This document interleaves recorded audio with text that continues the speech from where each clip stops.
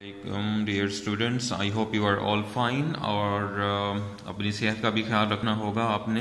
खेल कूद का तो आप ख्याल बहुत रख रहे हैं आई होप लेकिन अपने जितना खेल कूद का ख्याल रख रहे हैं उतना ही आपने कम अज़ कम सेहत और पढ़ाई का भी ख्याल रखना है। Uh, बेटा आज आपकी कहानी स्टॉप uh, हो चुकी हैं। अब हम लेटर की तरफ़ चलते हैं थोड़ा सा। लेटर करवाते हैं आपको याद था कि लेटर भी साथ साथ होता चला जा रहा है और एग्ज़ाम में आप लिख सकें। तो इसका फॉर्मेट बहुत इंपॉर्टेंट है, वो आप जरा साथ साथ मेरे देखते जाइए।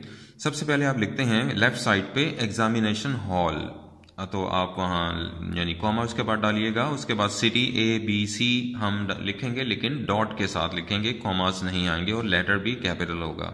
सिटी का नाम नहीं लिखें आप आप बस सिटी लिखें C I T Y city like आप देख ही रहे हैं।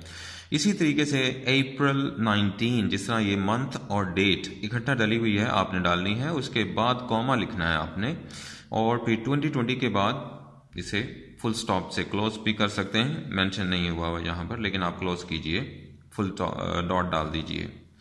उसके बाद आपने मुखातिब करना है dear brother dear father dear mother dear sister किसी को भी तो कॉमा डालेंगे उसके बाद छोटा सा एक गैप डालते हैं, जिस तरह आप देख रहे हैं आई हैव थोड़े गैप के बाद लिखा हुआ है। ये स्टाइल होता है पैराग्राफ शुरू करने का तो आप पैराग्राफ शुरू कर रहे हैं इस वक्त तो अब हम देखते हैं। और लेटर आपका है young younger brother to your younger brother giving him a piece of advice नसीहत करनी है छोटे भाई को यंगर ब्रदर को तो उसके हवाले से, इसलिए आप कह रहे हैं dear brother I have learn मुझे पता चला है फ्रॉम योर क्लास टीचर आपके क्लास के टीचर से that you in slip away कि आप अक्सर गायब हो जाते हैं स्लिप अवे हो जाते हैं फ्रॉम स्कूल स्कूल से एंड नेग्लेक्ट योर स्टडीज़ और अपनी पढ़ाई के बारे में गफलत करते हैं नेगलेक्ट करते हैं।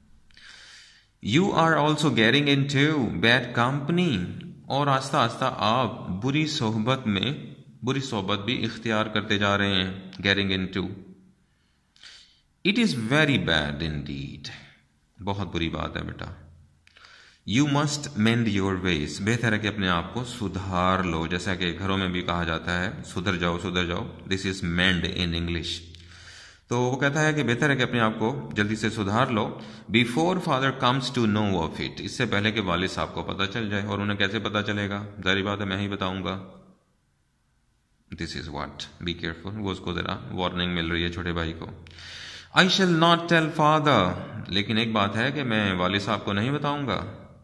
Till we get the report about your next examination जब तक कि आपके अगले इम्तिहान का नतीजा नहीं आता, रिपोर्ट नहीं आ जाती, चलें, जब तक मैं नहीं बताता। प्लीज़ अब मेहरबानी ये करनी है गिव अप बैड हैबिट्स अपनी बुरी आदतें आप छोड़ दो। गिव अप कर देना, छोड़ देना। हैबिट्स आदतें। वर्क हार्ड मेहनत करो। And get a good report और अच्छा नतीजा लेकर आओ। रिपोर्ट में नतीजा ये होता है रिपोर्ट होती है। I hope my advice shall not fall on deaf ears मुझे उम्मीद है तुम मेरी बातों को अनसुनी नहीं करोगे, यानी बेतवज्जो नहीं करोगे। इस पर तवज्जो यानी लाजमी दोगे। इसका मतलब ये बन जाएगा। ये इडियमेटिक फॉर्म है फॉल ऑन डेफ ईयर्स यानी बात ही ना सुनना। तो वो यही कह रहा है कि उम्मीद है मेरी बात को तुम इग्नोर नहीं करोगे, मेरी बात गौर से सुन लोगे नसीहत को। We all we are all keeping well हम तो बस सब ठीक हैं and miss you a lot तुम्हें बहुत मिस करते हैं। I wish you best of luck for your future आपको मुस्तबिल के लिए मेरी बहुत नेक तमन्ना है। खुश ख्वाहिशात हैं, ख्वाहिश है। और योर अफेक्शनेट सिस्टर तुम्हारी प्यारी सी बहन अफेक्शनेट यहाँ प्यारी के सेंस में है। तो उसके बाद आप कॉमा लगाओगे।